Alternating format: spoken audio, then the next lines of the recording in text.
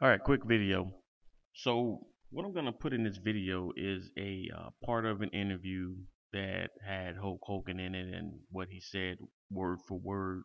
I think if I'm correct, this was to uh, people.com or something. I'm not even sure how far this was back, but I'm gonna let you make your own judgment of the situation when you see this. And keep it in mind, this is not the only um, information um, that was out on Hulkster. Um, he also had a uh, radio interview years back or so, whatever.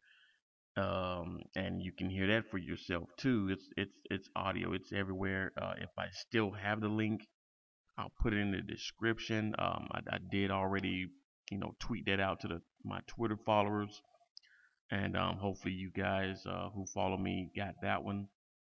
Um, I, you know, I really don't know what to say about the situation. As everybody know, Hogan has been removed from the upcoming WWE uh, 2K16 video game. You know he was fired. If you don't know he was fired, then I guess you just really don't pay attention to care uh, for uh, his use of the N-word.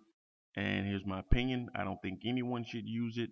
I don't, you know, whether you're black or white or whatever. Uh, and I don't like when people say that a certain race can use it, black race can use it, and others can't. You know, they, I don't, I just don't do that. Me and my friends don't do that. You know, soon as sometime in your life you have to grow up.